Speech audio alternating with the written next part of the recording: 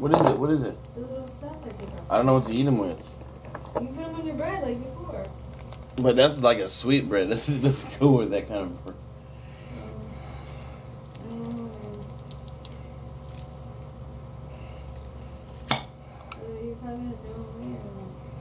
Mm-hmm.